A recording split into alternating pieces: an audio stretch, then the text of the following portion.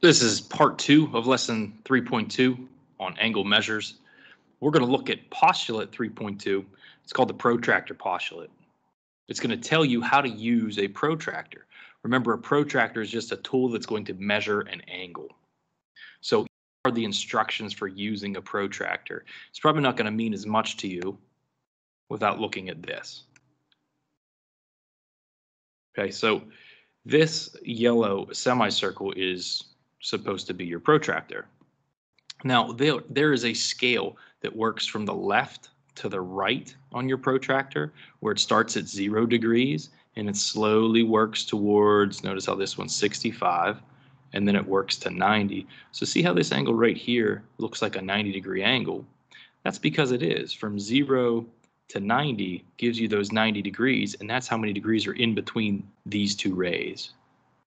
Okay, so back to that scale, we're going from 0 to 65 to 90. And as we increase a little bit more to 160 and then down to 180. So notice how this angle right here is 180 degrees. We're going from 0 to 180. Okay, so those top numbers show you the scale that goes from the left to the right. Now, the bottom numbers, they're also a scale. So you can measure the angles that face the other way. So we're going from zero up to 20 uh, and again to 90. Look at this angle right here. Between these two rays, there are 90 degrees. So that's a right angle. So bottom numbers again, we're looking at the, the scale going right to left. We've got a 0, a 20, a 90, 115 degrees, and then again back at 180. So every single ray that goes through a spot on a protractor is going to have two numbers associated with it. You really only need one of the numbers though, and then you can decide which number you want to use. You can either use the top or the bottom. It's totally so we'll do one example just to get the feel for how you would use this protractor postulate. We're going to look for the measure, that's what this little m means, of angle AFB. Find angle AFB, trace it with your finger or your pencil, we need the measure of it. How many degrees are in between these two rays? Well, if you look at the top numbers, we have a 0 and we have a 65. The protractor postulate tells you to just take those values, 0 and 65, and subtract them. Now, it's possible when you subtract, depending on which number you use first, you could get a negative answer. We're only focused on positive angle measures. So all of our angle measures are going to be positive, just like our segment lengths are positive. Now, if you looked at this angle, angle AFB, it sure does look like it's acute, and it makes sense because we just calculated its measure as 65. So we use the scale going left to right. That's the top numbers. You could have also used this scale going right to left. You could have used the bottom numbers. So how many degrees are in between 180 and 115? You could subtract them as well. You're still going to get 65. So the measure of this angle will be the same either way. Either subtract both tops or both bottoms. Okay, let's try the next one. Measure of angle CFD. That's how you read this. Here's angle CFD.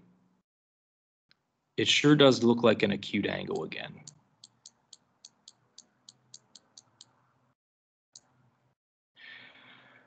Now we need its measure.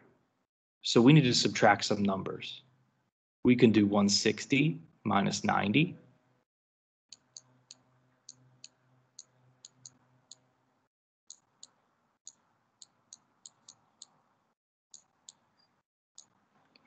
And we also could have done 90 minus 20. Notice how you have gotten the same answer as 70. And again, that matches back up with us classifying that angle as acute. Next one. Find the measure of angle BFE. BFE. It's this big fat angle. It's obtuse. So make sure when you solve for this answer that you get something bigger than 90. We can use either pair of numbers, remember, either scale. If you look at both top numbers, we have a 180 where ray FE comes through, and where ray FB comes through, we have a 65.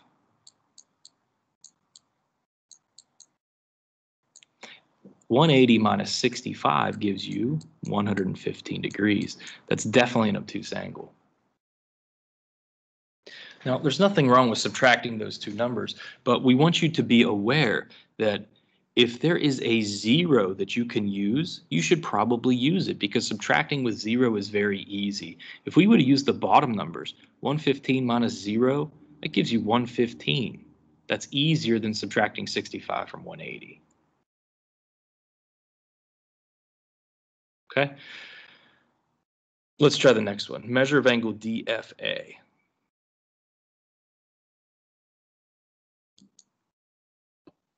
Here's D, here's F, here's A. It's again a fat angle. It's obtuse. I'm kind of running out of room to write this, but notice how I have a zero. So I'm going to use that little trick because a zero is my top number.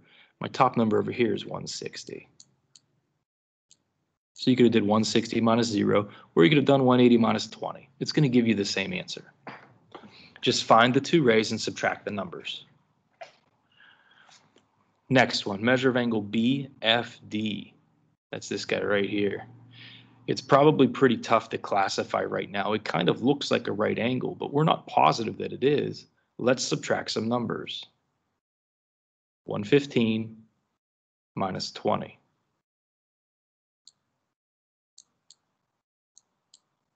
That gives you 95. So this angle is actually a little bit bigger than a right angle. This is an obtuse angle. You can't tell that before you find its measure, just because it looks like a right angle. Okay, then your last one is angle AFE. That's a straight angle. It goes from zero all the way over to 180. So straight angles have a measure of 180.